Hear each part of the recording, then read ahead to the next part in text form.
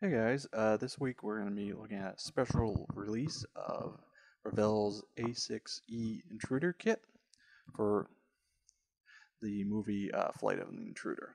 Let's open up this fairly large kit. Now, despite being a 148th scale, it's still, um, you can tell from the size of the box, it's a fairly large aircraft. Ah. Yeah, and definitely not the easiest to open up. Okay, so let's get into her. So right out the gate from this uh, first sprue, you can see overall size and layer detailing that is in this kit. Now, one thing to note and I don't know how well this is gonna show up on camera, but it is a, kit that does have raised detailing, which is unfortunate, but given the age, understandable. Uh, beyond, with the exception of this detailing is, it's all right, but I wouldn't say it's the best. Um, the detailing in the kit is nice. The de- the um, various bits and bobs are nicely represented. Excuse me. Um, for the age of the kit, um, things such as the crew boarding layer are nicely done, as well as the uh, bay. Um, another nice thing I noticed about this kit, and is something potentially you might look at for kit bashing, is the uh, separation line for the wing folds here on the wings, here on the underside, and again here on the upper side are very sharp and nicely done, or excuse me, upper side and lower side. Forgive me. And if you do choose to uh, put a aftermarket wing fold set on this thing, it would be nice, very easily done, considering know you can very clearly see where you need to cut and won't cause too much difficulty. Uh, continuing on, uh, we have our of our main gear bays, which again, much the same, is nicely detailed. But as I said, overall the smaller raised details on the surface are not that great. Hmm. Excuse me. Uh, continuing on, uh, we have our cockpit tub, which again for the age is all right. It would be nice if these uh, seat bottoms were separate, make it easier to paint, but is what it is. Sorry, I'm having to adjust my positioning. Uh, we also have, strangely enough, a large anti-ship missile. Um, blanking on which particular missile it is offhand. Um, I do find it odd that it's included on this kit, just because I you don't typically see the A6 carrying anti-ship missiles. You typically see it in ground attack role, so it's an interesting inclusion, but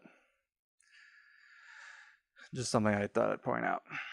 Uh, continuing on to the instrument panel, the detailing is uh, typical of Revell in this period. Um, detail is not that great. I would say definitely look at maybe going aftermarket route. Uh, continuing on, we have our instrument shroud, which is nice, as well as our the back headrest area. Uh, also in this sprue are our landing gear, which are nicely detailed and representative. Uh, we also have some sway braces, the main gear wheels as well as a couple of fuel tanks, uh, center line and on the wings.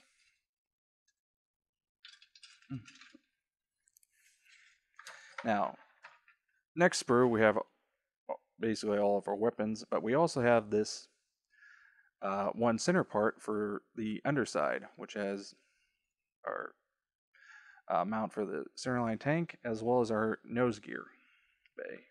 Uh, this is one of the oddest design uh, choices I've ever seen on a kit. Um, just something I've never seen, to be honest. Um, the detail is good, as you can see here on the sides of the gear bay. Beyond that, it's just an odd choice.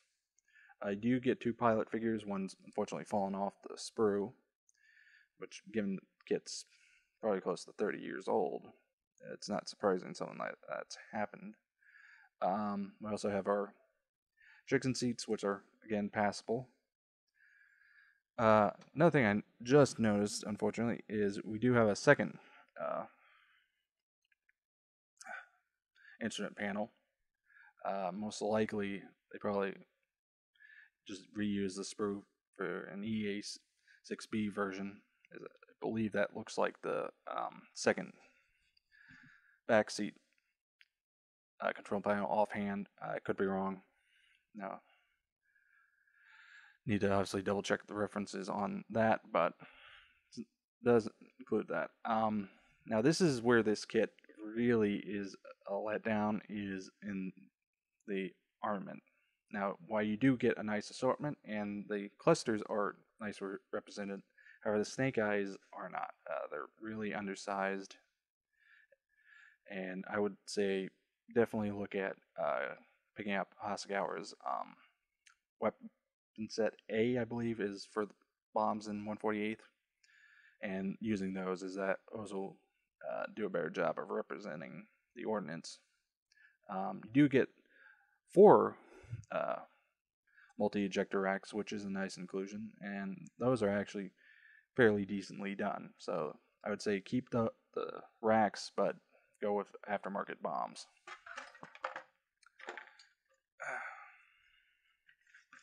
Last up, as far as sprues go, we have our clear parts.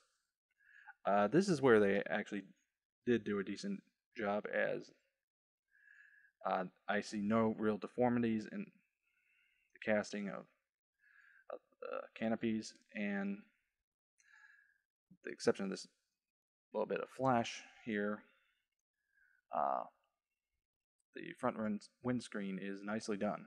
So overall the clear parts are nice saving grace of this kit.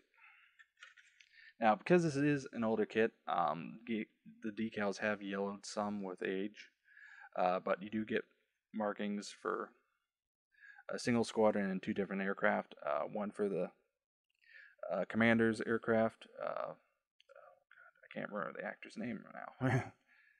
Uh,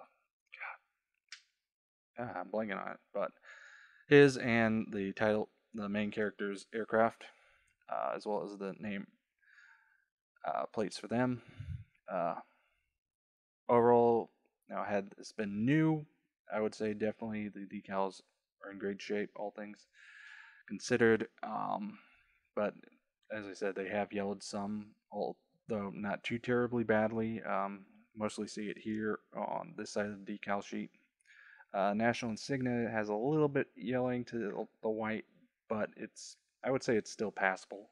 I mean, I would say, unless you've got an extra, say, national insignia, insignias laying around, you can probably get away with using one the kit. Again, this is just my copy. So let's move on to the instruction sheet.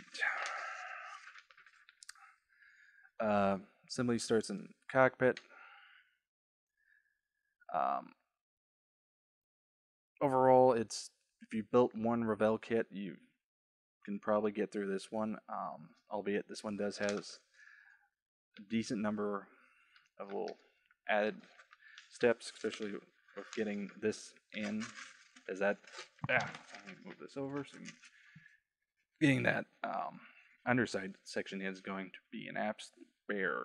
Um, trying to think best way to modify it, maybe to make it a little, little easier, but uh, yeah, their choice to do it that way, I think, is a major misstep. Is going to represent a major headache point. So that's something to be aware of. Oh yeah, I almost forgot as they had fallen off the sprue, or our little inlet have parts. having to nose those instructions. Sorry about that. Um, kit also does include a little clear and help keep it from nose sitting, but I would say just chuck a bunch of um, weights into the nose. It's big enough that that should not be an issue. I mean, it's got a big enough nose that if you're still tail sitting, uh, you've got problems. Uh, overall, though, um, it's pretty st- basic assembly, albeit there's a decent number of steps involved. Um, fortunately, Revell does tend to, I would say, overcomplicate their instruction sheets a little, so it does seem a little more daunting. I think some of this is just to save space, but overall, it should go together fairly easily. Um, once you do get a belt, uh, you do technically only have one paint scheme, albeit for uh, different aircraft in a single squadron. So overall, um, now this kit's a bit of a mixed bag. Um, obviously, given its age, um, some things are to be expected to be problematic and have some teething issues, but overall, I would say this is a pass or skip. It, it's one of those kits that, you know, if you're a fan of the movie, definitely pick it up. If you're just looking for a general A6 kit, I would say pass. Uh, there are better options out there, especially nowadays, because um, at the time I got this kit, um, there really weren't any options for A6s in 148 scale. This was, I want to say, about 10, 15 years ago when I did get this kit. Since then, uh, I know Kinetic has come out with their A6 line.